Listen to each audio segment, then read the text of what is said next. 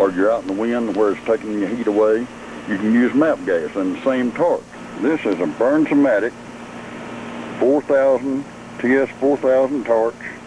You can get it in any hardware store in the whole United States. Ace Hardware, True Value, Home Depot, Lowe's, Builder Square, any of the building supply houses will have it. Where they sell lumber and they sell hardware, they'll have this torch. Now this is a good torch. This torch cost about 37 or 38 dollars. Now the little torch that just have a pipe sticking out and it just has a knob on the side that you have to light light the torch with a match. Don't use that, it won't heat anything up. It may use the same propane and it may put out the same heat in Fahrenheit, but it does not put out enough fire to do any good.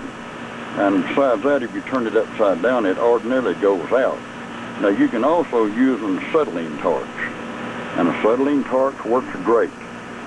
But if you do, don't do it like you've been doing it on steel. You'll blow holes all over your aluminum. I tell them turn both regulators off. Turn the acetylene regulator on just enough to get the torch lit. And then stretch the flame out just before it starts blowing real black smoke. And turn, just clean your aluminum and get the well in your aluminum.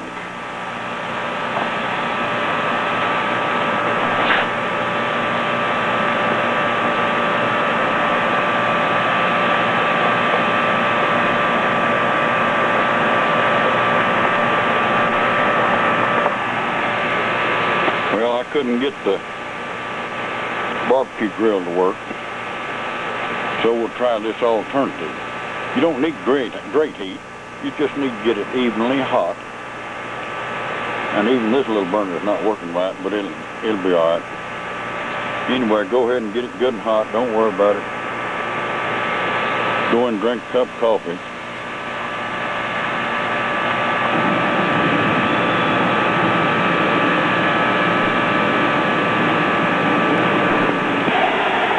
Go ahead and heat, heat with your torch.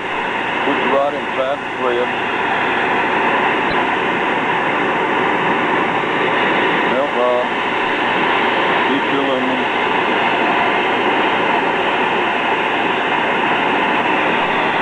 Not.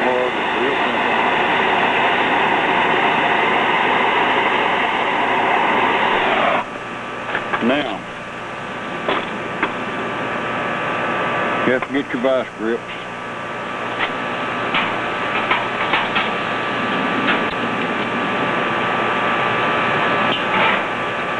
Hold of it somehow, some way.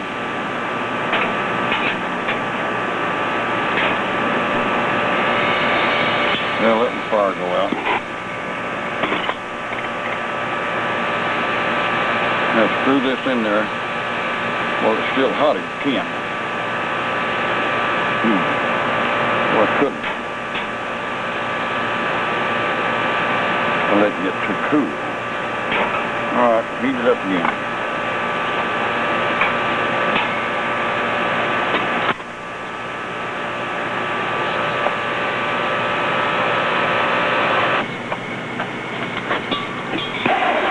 Now that we've got it in there, we're going to do some more welding on it. We're going to make sure it doesn't leak, doesn't come out.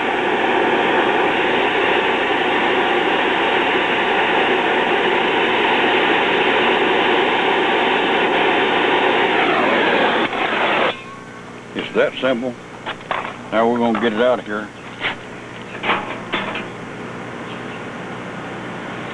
Let it cool off. And you don't don't take it and cool it with water. Just let it cool naturally. You do not want your aluminum to cool fast, especially your aluminum castings. Let them cool slowly. Then you'll have a good job.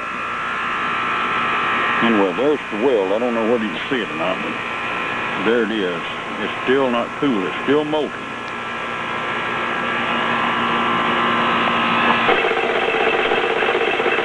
All right. Low compressor's repaired. Doesn't leak at all. It puts up to 100 pounds on it.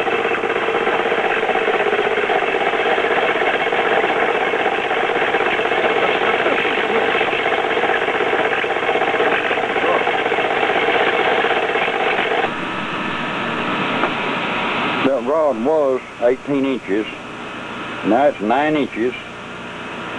We used 9 inches of that rod repairing that little compressor. Now, no telling how much a new head would have cost that little compressor, even if you could find one. I don't know how in the world you'd ever find the head in the first place, but it's repaired good as new.